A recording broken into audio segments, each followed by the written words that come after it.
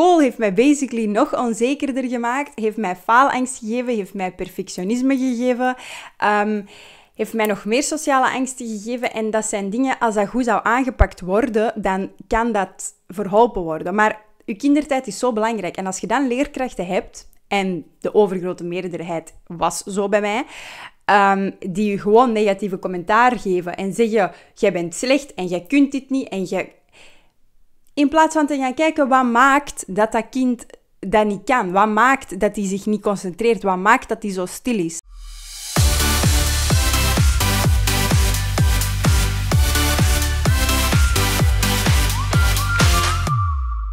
Hallo en welkom bij de tweede aflevering van It Might Get Messy. Oh my god, ik wil jullie eerst allemaal super hard bedanken voor al jullie support en liefde dat ik heb gekregen op de eerste aflevering. Ik had dat echt oprecht niet verwacht. En dat is altijd wat iedereen zegt. Like, als je een beker wint van I don't know what, het eerste wat mensen in hun speech zeggen is Oh my gosh, ik had dat echt niet verwacht. Maar truly, ik had dat echt niet verwacht. ik dacht... Um, dat het een beetje ging zijn zoals mijn YouTube-video's. Ik heb in, allez, in het verleden zo vlogs gemaakt en zo, maar dat sloeg nooit echt aan. Maar ik vond het eigenlijk wel leuk om te maken. Zo, so dit het voor sommige mensen, maar ook gewoon voor mezelf, omdat ik dat leuk vond. En ik dacht, die podcast zal zo hetzelfde zijn. Um, en ik wil er wel echt mensen mee bereiken en mensen mee helpen. Dus ik hoop dat ik wel een paar mensen kan bereiken. Maar ondertussen heeft hij al meer dan 300 views en luisters bij elkaar. Oké, okay, luisters is geen woord. Downloads ja, bon, anyway. Uh, maar ik ben gewoon echt, wauw. Uh, thanks ook voor iedereen uh, die een positief berichtje heeft gestuurd via DM. Um, ik heb ook een spraakberichtje gekregen van iemand, van Aline. zij heet bo.skin op Instagram en dit was haar spraakberichtje. Hey Ellen, ik heb uw eerste aflevering geluisterd van de podcast. I love it. Echt waar, mij. Uh, zo mooi, zo open, zo eerlijk. Um, het, is echt, het is echt goed. Het is echt goed. Echt spontaan. Hoe dat je het. Um, echt mooi en kwetsbaar. En keihard, maar zo moet dat. Thanks Aline. Um, en ik zou graag ook een shout-out doen voor iemand die mijn podcast heeft gedeeld op haar story.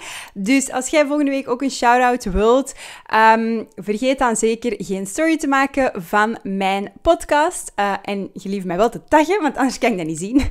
Uh, dus mijn Instagram is Ellen Batens, gewoon aan elkaar. Tag mij erin, daily story. En dan wie weet geef ik u volgende week wel een shout-out. Deze week gaat de shout-out naar Isaura van den Bremt. Um, honestly, honestly, zij heeft echt een super moeilijke tijd op dit moment. Zij is zelf ook haar papa verloren drie maanden geleden. Um, she's having a really rough time. Dus het zou superveel voor mij en haar betekenen. Moest haar een beetje liefde kunnen geven. Um, haar Instagram-handle is isaura.vdbx en op TikTok ook.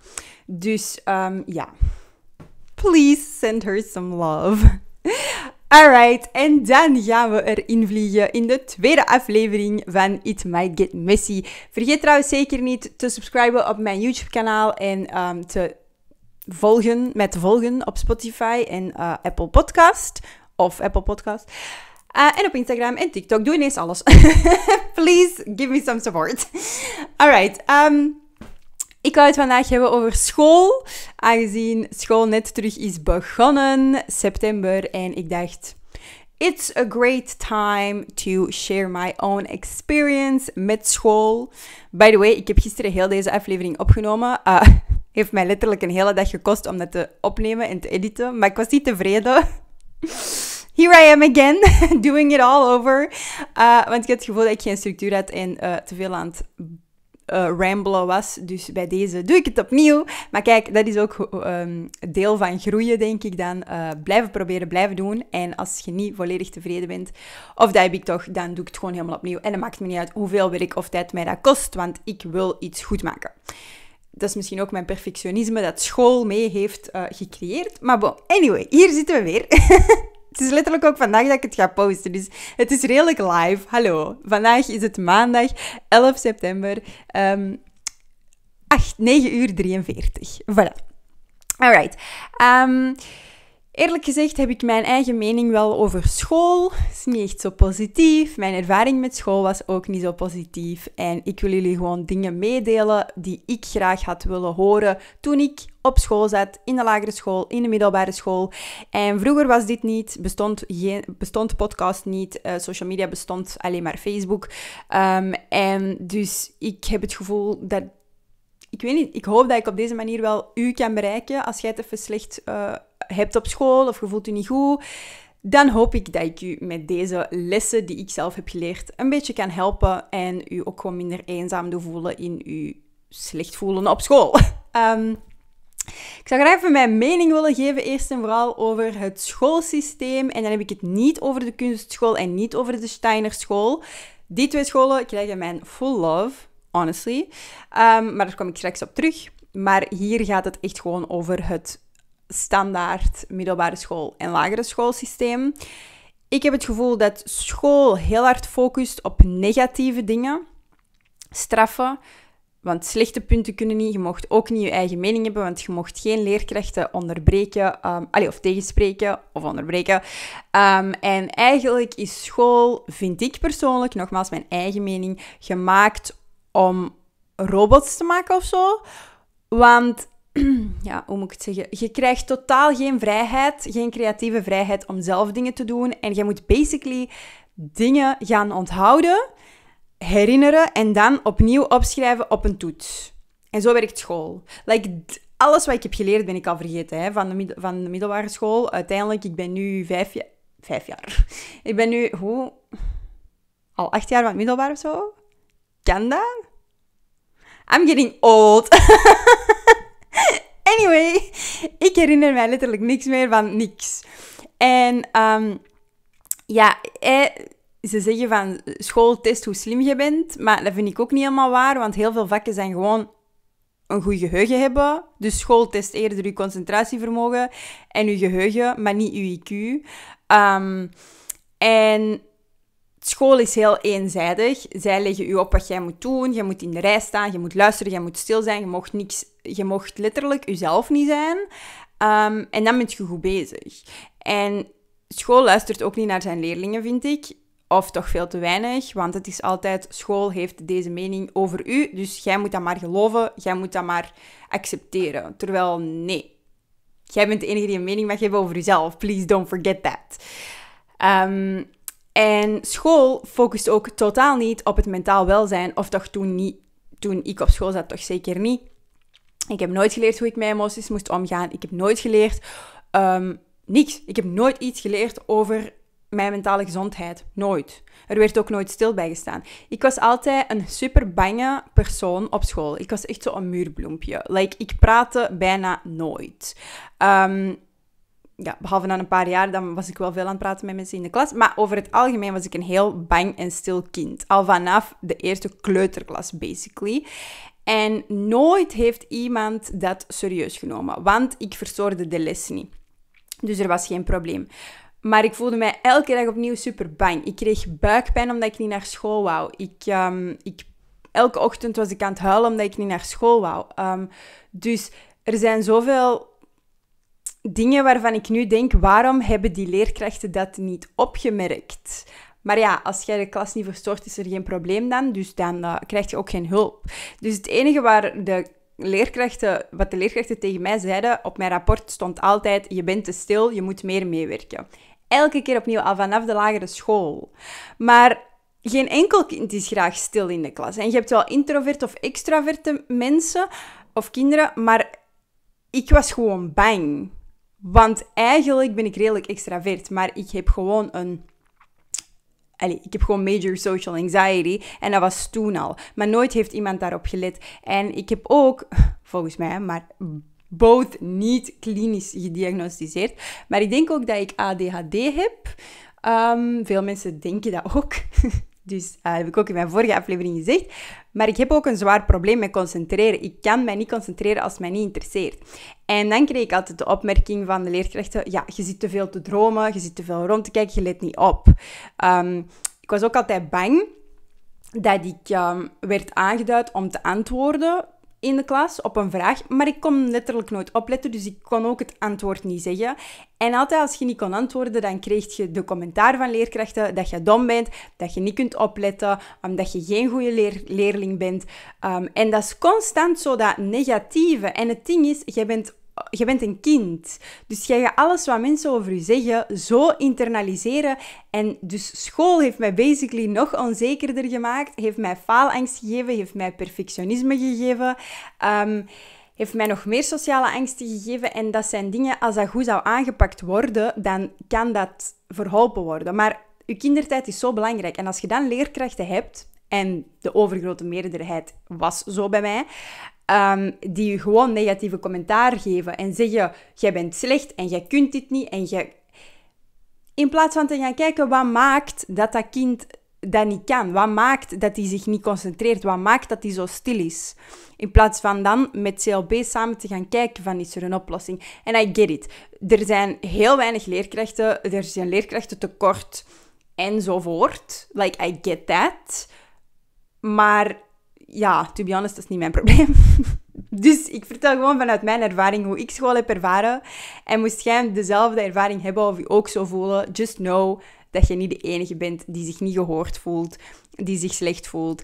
En it's not on you. 100% nieuw aandeel, want dat dacht ik altijd. Ik dacht ook echt, oké, ik ben slecht, ik ben dom, uh, ik kan niks ik ben een slechte leerling, terwijl dat is niet waar. Er zit altijd meer achter. En als jij je best doet, dan is dat meer dan genoeg. En wat school over u zegt, alle negatieve dingen, please don't take them seriously. Want het is gewoon, het is gewoon niet gezond hoe leerkrachten soms doen tegen hun leerlingen. Dat wil ik even zeggen. Maar bon, laten we uh, verder gaan met de lessen die ik heb geleerd uh, op school. En dat is duidelijk niet geschiedenis en aardrijkskunde, want daar weet ik niks meer van. Um, eerst en vooral wat ik dus zou zeggen, wat ik eigenlijk al heb gezegd, is leerkrachten zijn fucking toxic. En ik heb het dus niet over alle leerkrachten, maar er zijn er veel. Um, ik weet nog bijvoorbeeld in het tweede leerjaar, dan had ik zo'n bles, zoals iedereen, like die Justin Bieber bles dat iedereen had. Maar mijn haar is nogal fijn, dus dat lag altijd zo wat over mijn ene oog. En op een gegeven moment zei er een leerkracht tegen mij, echt voor iedereen. En mind you, ik heb al superveel social anxiety op dat moment. Dus dat is nog meer terrible om beoordeeld te worden. Um, en die leerkracht die gaat voor mijn bank staan en die zegt zo... Zeg, wanneer ga jij je gordijn eens wegdoen? What? Dat zeg je niet tegen een 14-jarig kind. Like, what the We zijn allemaal fucking onzeker over onszelf. We already hate each other. Dat moet niet om nog meer commentaar te geven. Um, een ander voorbeeld is, ik zat dan in het tweede middelbaar ASO en ehm, op het einde van het jaar kreeg ik ASO met waarschuwing. Volgens mij is heel dat klassensysteem en, schoolsysteem aangepast. Maar toen zei mijn klastitularis, ja, je wiskunde is slecht, dus je kunt beter afzakken naar TSO. Um, en ik dacht, ja, maar ik wil super graag humane wetenschappen doen, want dat is wat mij echt interesseert. Psychologie, mental health, al die dingen. Ehm, maar ja, ik nam die waarschuwing heel serieus, dus ik ben effectief afgezakt naar TSO Handel. De, de richting met de meeste wiskunde, want obviously als je moet boekhouden enzovoort, moet je superveel uitrekenen. Maar bon, so I got put in hell. Um, en mijn eerste examen in derde middelbaar in TSO had ik 90% op wiskunde. En ik wil hier niet mee stoeven of zo, helemaal niet. Want ik bedoel, dat is ook al zoiets. Als je goede punten haalt, dan word je ook super hard beoordeeld als strever en weet ik veel wat. Please, neem dat ook niet serieus. Want honestly, als je goede punten haalt, dat is fucking goed. Dat je bent hard aan het werken, good for you. En mensen die daar commentaar op geven, that's on them. En zij zijn gewoon jaloers. Honestly. Dat is, dat is het enige wat ik erover ga zeggen. Uh, in ieder geval, die 90% bewijst wel dat ik wel degelijk ASO had aangekunnen. En daarmee wil ik zeggen, leerkrachten mocht je ook niet al te serieus nemen, want vaak weten zij het zelf niet eens. En ik vind soms niet dat zij entitled zijn om hun mening zomaar te verspreiden. Het is niet omdat jij de titel leerkracht hebt gekregen dat jij letterlijk God bent die beslist over het leven van je leerlingen, snap je? Dat is mijn mening. Um, maar er zijn nog een paar heel toxic dingen gebeurd op school uh, van leerkrachten. En ik denk dat iedereen wel zo'n verhaal heeft. En dat is jammer genoeg wel de realiteit. Dus wat ik hiermee wil zeggen is, please, ja, dat gaat heel slecht overkomen, hè? please neem je leerkracht niet te serieus. Um, ja, ik bedoel daarmee van als een leerkracht u, u negatief benadert en u dingen noemt dat slecht zijn, ja, dat is zo moeilijk, want uw leerkracht wordt gezien als de persoon die alles te zeggen heeft. Dus of course gaat je dat geloven als leerkrachten dat over u zeggen, maar please geloof ze niet. Want sommige leerkrachten zijn er ook gewoon, zijn ook gewoon leerkracht geworden omdat ze het fijn vinden om macht te hebben over anderen, denk ik. Ehm, en zij misbruiken dan een beetje hun, ehm, hun positie. Voor een van de tijd zijn leerkrachten ook niet echt gelukkig. Um, die zijn overwerkt, die zijn gestresseerd. Hoeveel leerkrachten wij hadden met burn-outs, dat is ook niet gezond. En dan denk ik dat je dat vanzelf een beetje meer afreageert op je leerlingen of zo. Wat niet zou mogen, maar ik snap ook, ik zou zelf ook nooit leerkracht willen zijn. Hè. Dat lijkt me echt vreselijk. Dus respect voor mensen die leerkracht zijn, sowieso.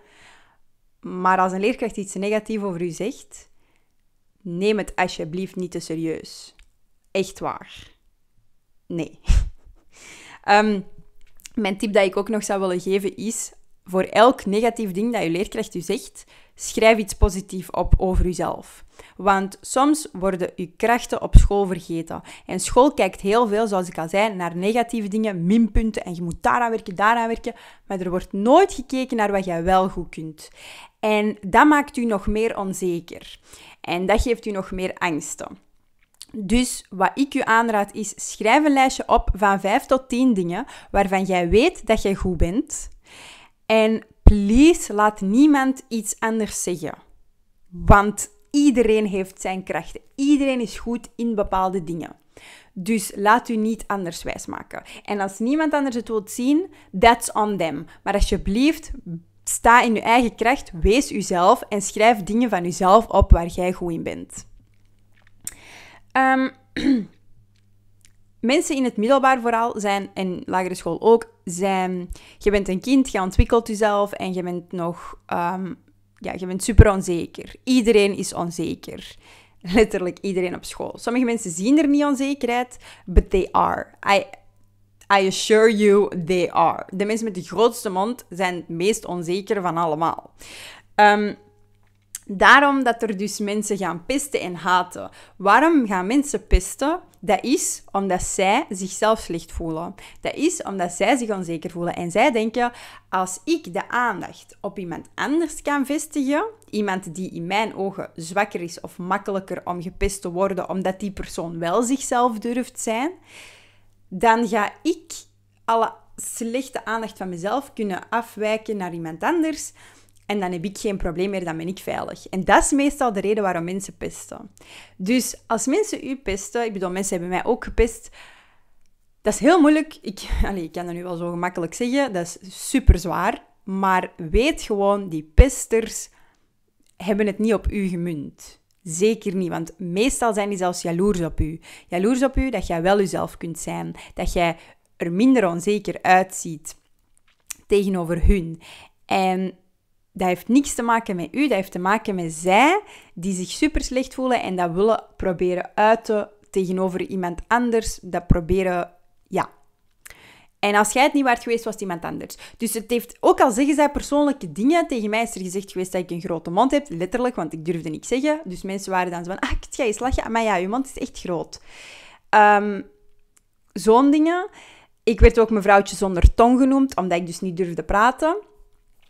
En dus dat, dat, dat voelt super persoonlijk aan allemaal, but it's not. Want het is echt on them. En de mensen die, die u pesten, dat zijn de mensen die zich deep down heel ongelukkig voelen en heel onzeker. Dus zie, hem als je, zie hen alsjeblieft echt niet als een god aan die alles weten, net zoals je leerkrachten. Dat is niet waar. Want dat is wat zij proberen. En het beste wat je kunt doen om met pesters om te gaan, is jezelf blijven. En dat is super moeilijk ik kon dat niet. Ik, ehm, ik voelde mij super lelijk in, op school. En uh, op een gegeven moment, ik moest ook een bril dragen. Dus op een gegeven moment, uh, hier is een foto van hoe ik eruit zag. ik had ook blokjes daarvoor, maar daar vind ik geen foto meer van. in ieder geval, um, ik, uh, op een gegeven moment heb ik die bril ook verwisseld met lenzen, maar ik kon eigenlijk geen lenzen dragen. Want ja, ik heb astigmatisme, ik weet niet of dat je dat kent, maar dat maakt dat ik geen lenzen kan dragen, omdat ik daar niet goed door kan zien. Maar omdat ik mij zo lelijk voelde, heb ik dat toch maar gedaan. Waardoor ik de helft van de tijd niet eens iets zag. Dan ben ik overgeschakeld van die zachte lenzen, want dat ging echt niet, ik kon het bord niet eens lezen. Ben ik verder overgeschakeld naar harde lenzen en dat deed fucking veel zeer. Dat voelt echt aan alsof dat er een steen in je ogen zit, maar like permanent. Dus dat deed super veel pijn, maar ik had nog liever pijn in mijn ogen dan mij onzeker en lelijk te voelen. en newsflash, I, I still felt insecure. Dus daarmee bedoel ik maar, please wees gewoon jezelf en ga niet bepaalde dingen dragen om erbij te willen horen of u veranderen. Want, I don't know, ik vind, ik vind persoonlijk de sterkste en de krachtigste mensen op school zijn zeker niet de populaire mensen. zeker niet, want dat zijn echt de grootste onzekere mensen dat er bestaan. Maar de mensen die zichzelf kunnen zijn, ook al krijgen zij haat, commentaar, whatever. Dat zijn de mensen die het sterkste zijn. Ik, op een gegeven moment had ik zo'n groepje vrienden en zij werden gezien als de seutjes. Super erg, want what the fuck. Um, but they couldn't care less. Zij hadden super veel plezier met elkaar. Zij deden gewoon wat zij wouden. En zij kregen commentaar, maar toch bleven zij zichzelf zijn. En dat maakt dat zij op een gegeven moment ook niet meer gepest werden, want die pesters zien ook, ah ja, het heeft geen zin om daar commentaar op te geven, want ze doen gewoon verder met wat ze bezig zijn. Maar vanaf dat jij je gaat aanpassen, gaan zij merken, aha, ik heb macht over die persoon. Dus ik, dat is een goed slachtoffer om, gepest te, om te pesten. Dus mijn tip voor u is, please, blijf uzelf. Omring u met mensen die wel het goede in u zien. En ook al zijn dat zogezegde seutjes of whatever, wordt er commentaar op die andere mensen ook gegeven. So be it. Want het belangrijkste wat jij op school kunt doen, is je goed voelen. En dat is al super moeilijk. Dus als jij dan eindelijk mensen vindt waarbij jij je goed voelt, waarbij jij jezelf kunt zijn, Please hou die mensen bij. Ook al wordt er commentaar op gegeven en ook al word jij dan ook gezien als een seutje. So be it. Want de mensen die dat zeggen, dat zijn de truly ongelukkige mensen. Want het feit dat jij al naar iemand anders moet zitten zien, naar iemand anders zijn leven en daar commentaar op moet geven, dan heb jij volgens mij niet zo'n gelukkig leven. Want als jij truly gelukkig bent, dan gaat je geen fuck geven om anderen. Je laat gewoon iedereen zijn. Dus ja, please, vind gewoon je eigen tribe en don't care wat anderen daarvan denken. Um, wat ik ook nog wou zeggen is dus dat weinig vrienden beter is dan veel vrienden, zeker op school. Um, vind ik persoonlijk. Want ik had altijd, ik had soms geen vrienden. Sad life.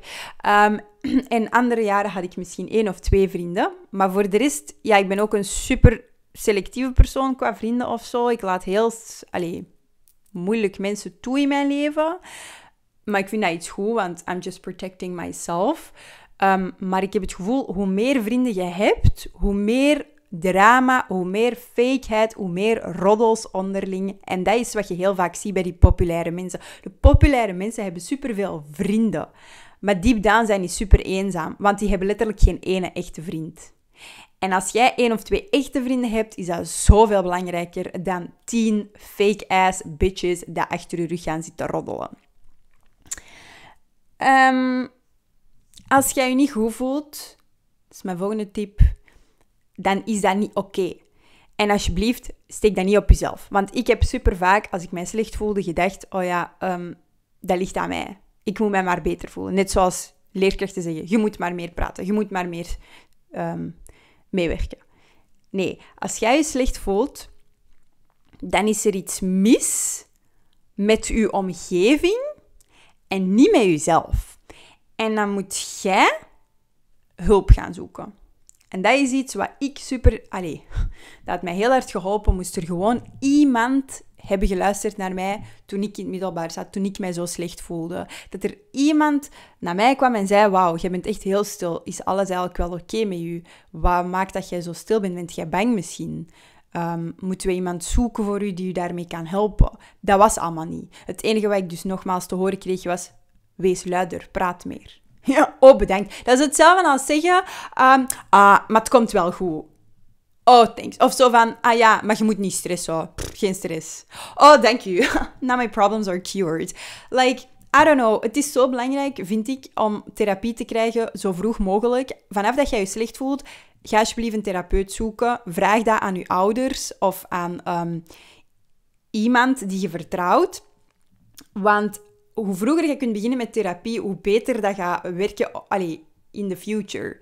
Bijvoorbeeld bij mij, ik ga nu pas in therapie en ik ben 25. Dus er zijn veel meer dingen nu echt vast in mijn brein waar ik veel meer aan moet werken om dat terug aangepast te krijgen, snap je? Terwijl als je in het moment zelf, als je dan slecht voelt en je gaat het dan veranderen, dan gaat dat veel meer effect hebben of zo.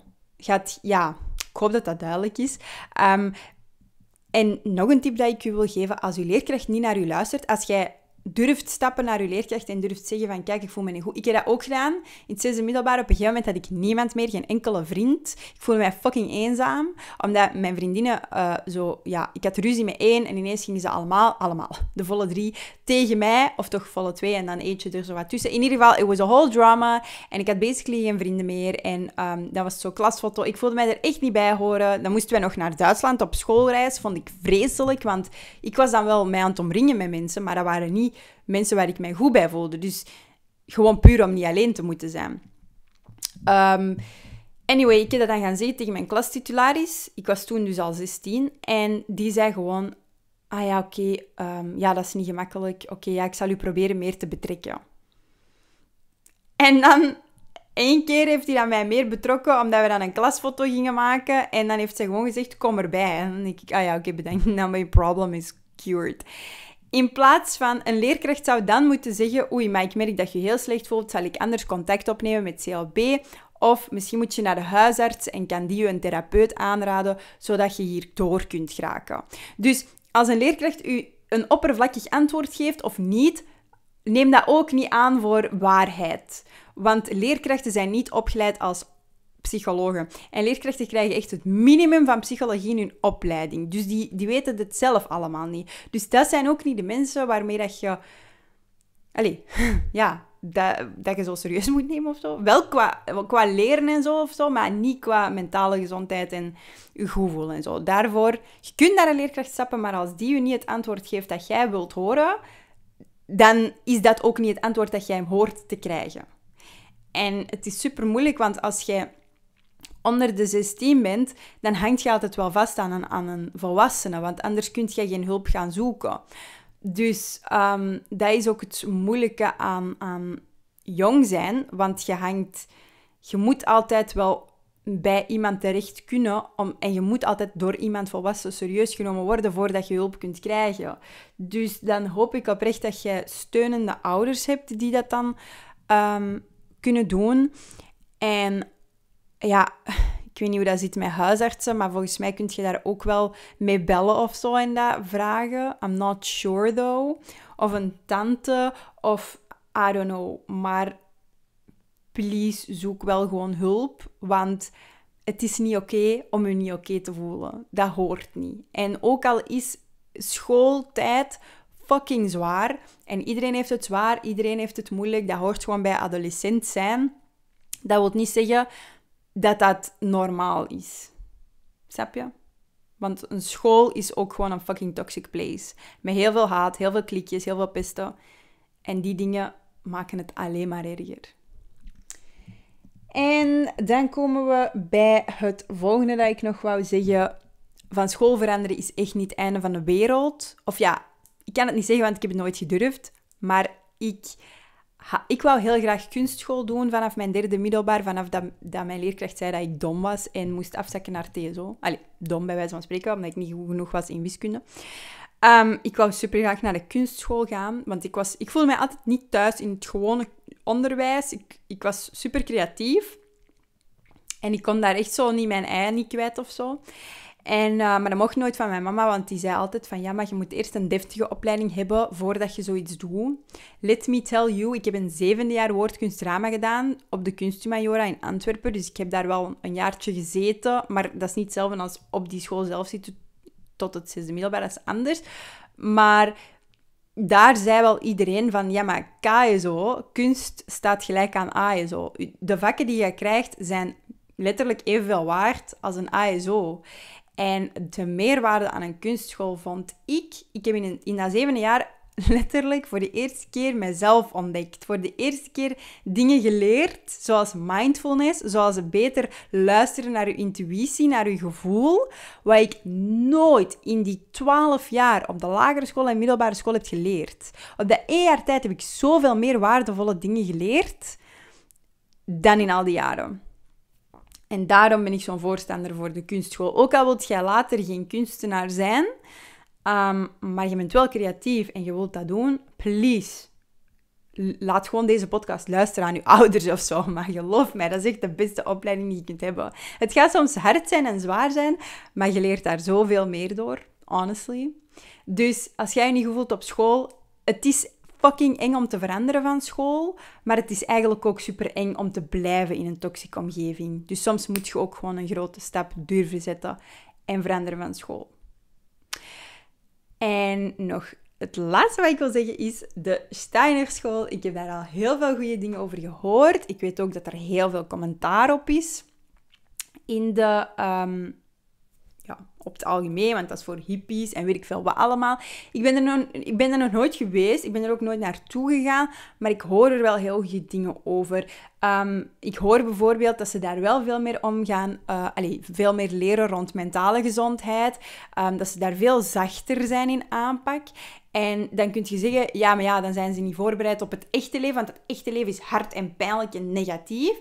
Maar dat is ook maar een perceptie, want het echte leven, dat maakt jij zelf. Dus als jij niet wilt dat je echte leven negatief en hard en pijnlijk is, dan is dat ook niet. Dus als dat al start vanaf school, dan heb je eigenlijk, vind ik al, een hele grote stap voor of zo.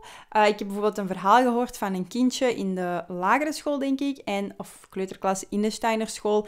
En ze gingen altijd een rondje doen en dat kindje moest altijd, uh, allez, dus elk kind moest zeggen hoe dat hij zich voelde. Dat is iets wat wij nooit leren op school, hè, in gewone scholen. Leert je niet hoe je je voelt. Dat bestaat niet.